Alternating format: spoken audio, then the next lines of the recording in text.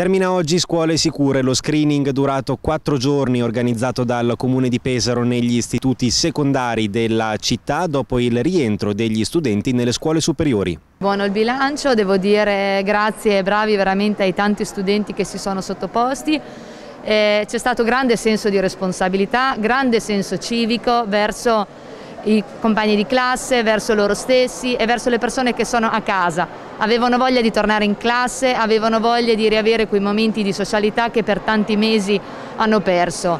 Ringrazio i dirigenti scolastici, gli insegnanti, il Croce Rossa, Protezione Civile, tutti coloro che sono stati con noi eh, in questi giorni veramente c'è stato un grande lavoro di squadra, siamo contenti per il risultato che c'è stato, purtroppo c'è stato anche qualche positivo, ma la funzione di questo screening era questo, era permettere di stare in classe in sicurezza e di stare a casa in sicurezza. L'ipotesi e la speranza è che sia insomma, nei prossimi mesi un'operazione che insieme alla Regione si possa portare avanti, il mio augurio è questo, magari una volta al mese con la Regione Abbiamo visto insomma, che siamo stati in grado di organizzare tutti i siti, c'è stato veramente un grande lavoro di squadra perché si riconosce la validità del progetto. Le giornate nel complesso sono andate, devo dire, molto bene, nel senso che l'adesione è stata molto alta, parliamo di percentuali importanti, sopra il 70% qua al campus.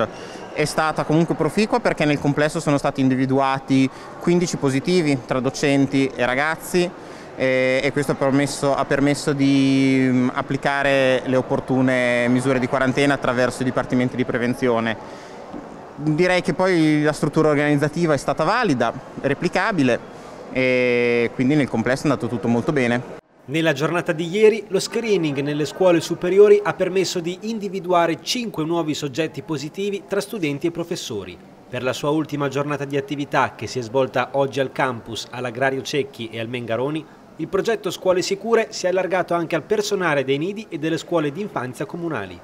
Abbiamo scelto questa categoria, allora innanzitutto è stata una richiesta dei sindacati, ma condividiamo questa richiesta perché eh, soprattutto questa fascia di età 0-6 in cui non è possibile il distanziamento sociale, non è possibile prevedere le mascherine, sono diciamo, dei luoghi di lavoro particolari ed era una garanzia in più per il personale che ci lavora, una garanzia in più per le famiglie. Positivo il giudizio sull'iniziativa anche da parte dei ragazzi che si sono sottoposti al test. Come mai la decisione di farlo?